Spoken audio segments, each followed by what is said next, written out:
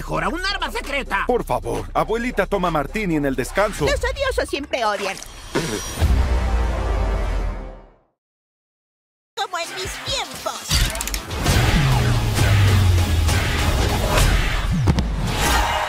Vaya.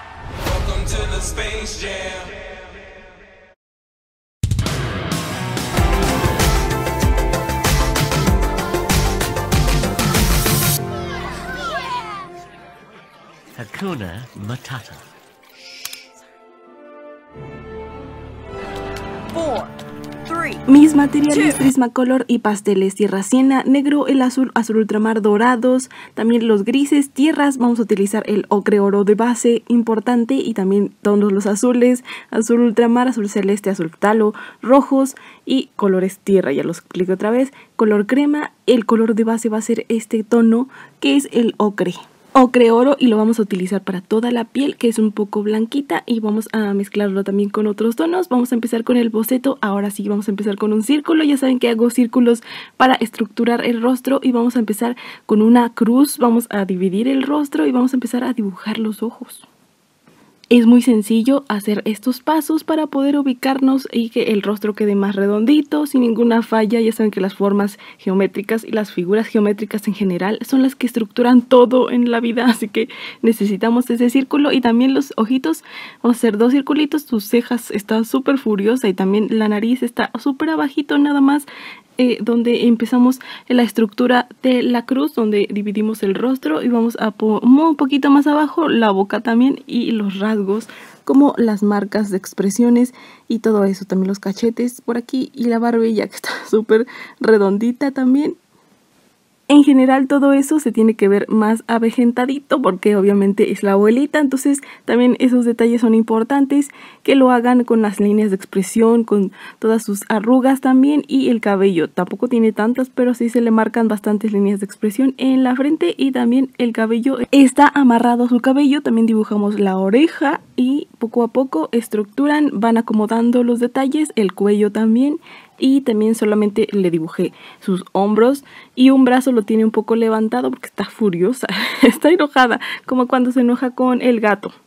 Y listo, ya casi tenemos el boceto, solo algunos detalles como los lentes, vean que están súper abajito de sus ojos, un poquito abajo y son medias lunas, solamente hacen medios circulitos y una recta y listo, tenemos ese boceto. Vamos a empezar con el color, ahora los ojos grises, yo utilicé gris medio y también azul talo para ese intenso tono un poco de sombra y también delineamos el ojo con café y negro también, azul talo, azul ultramar en los ojitos y el punto de luz, recuerden es importante para que brille súper padre. Y otra vez me pasó lo que no quería que se me pasara. Se me borró un clip otra vez. Siempre me pasan esas desgracias. Ya saben que yo no soy perfecta. Trato de hacer videos normales, pero nunca me quedan. Así que utilizamos el ocre oro para rellenar la piel. Eso lo hicimos abajo de los ojos, alrededor también. En el ceño puse unas sombras también con brown y un poquito de lila también grises. Abajo de la ceja también los tonos grises y unos más intensos para la sombra de sus cabellitos. Tiene algunas líneas de expresión que van a marcar con tierra siena y también brown clear y unos toques lila y también grises para sombra. Vean, lilas, grises, unos detalles por ahí de azul también y de base es el siena y el ocre oro son muchos tonos que tenemos que mezclar, hay que tener consciente eso y poco a poco los vamos a ir rellenando como un rompecabezas. Vean, el ocre oro primero, tierra siena, después unos toques más intensos con la granizada oscura, brown clear también, que oscurece y hace una sombra por ahí. El gris también es muy importante, otra vez el ocre oro de base y más grises y vamos agregando y agregando. Lo mismo si utilizan los colores, los lápices de colores es lo mismo tonos y sombras. Vamos a de claros a oscuros si quieren para que no se equivoquen. Y la boquita la rellené con negro nada más, los labios con unos tonos rosados y también hay unas luces en el labio y vean cómo va el color cambiando, la sombra y la luz también. Es muy importante aquí en esta mejilla un poco de ocre oro también, rosado le puse, azul también, un poquito de azul tal lo le pueden aplicar, azul también índigo y aquí en la barbilla otra vez el ocre oro, el, el, punto de luz en su barbilla y mucha luz, entonces aquí aplican color crema también y en los lentes, en las medias lunas de los lentes solo apliqué azul talo y tantito azul celeste y azul índigo para que haya una sombra por ahí y también dorado en el puente de su lente. Estos detalles ya son los finales casi. En los lentes también pusimos unos reflejos con blanco puro ahí sí. Y en la oreja otra vez los mismos tonos, ven, ocre, ocre oro, tierra siena también, unos toques de rojo también si quieren, más poquito de azul y sombras con los grises. Pueden utilizar el gris medio y el gris oscuro. También en el cabello lo mismo, azul por aquí hay unas sombras y hace oh, gris talo, utilice el gris talo, el azul talo también y un poquito de gris más oscuro, más intenso, gris medio y después vamos a hacer muchos pelajes y cabellitos más blancos. Aquí pueden utilizar el color blanco ya si quieren o el plateado también lo mezclé con los Prismacolores, saben que hago yo esas cosas y detalles y cabellitos más finitos después de hacer esa base. También pueden utilizar el exacto si quieren unos cabellos más finos y algo así me quedó el cabello. Voy con el cuello también, aquí hay más sombras. Ven cómo mezclamos esos tonos otra vez y le damos de un lado donde están las luces y las sombras también. En el lado derecho está más sombra por ahí en el cuello y en el rostro. Ya los brazos no tienen tanta porque son más claritos y bueno como que la luz pegaba de ese lado. Entonces vamos a utilizar también el ocre, tierra siena y sombras por aquí grises. También aquí mezclé el color crema y un poquito de rosado nada más. Para la blusa vamos a utilizar azul, azul índigo por aquí en una sombra muy intensa en el cuello.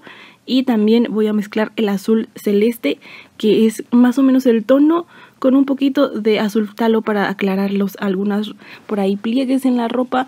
También aquí más sombra y también tiene el cuello con unos destellos un color rojo por ahí no son destellos. Más bien es el bordado de la playera y también aquí vean azul talo un poco más claro y la palomita que tiene ahí amarilla. También vamos a dibujar Toon Squat porque así está escrito en su playera. Yo ya saben que tomo varias referencias de diferentes fotos porque no había una en específico un póster de ella, entonces tuve que acomodarla más o menos, por eso la verán un poco extraña. Y hacemos unas texturas como hilitos también con los tonos azul talo y para el fondo voy a mezclar magenta, también el rosado, un poquito de rojo y laca granizada oscura también y por aquí rosa y azul talo también, blanco le hice algunos circulitos como que son focos a la lejanía, ya saben, esos tonos como que está ahí jugando la señora. Y también vamos a poner otra vez magenta, naranja, amarillo, otra vez naranja por aquí y vamos a mezclar, ya saben los detalles de mezclar azul también por aquí arriba, se mezcló y se hizo verde, pero bueno, le podemos aplicar blanco. Y también puse negro después para intensificar las sombras, ya saben que está como el foco más cercano, como ahí zoom en la abuelita. Y eso es todo lo que hicimos, espero que les guste y me digan qué opinan.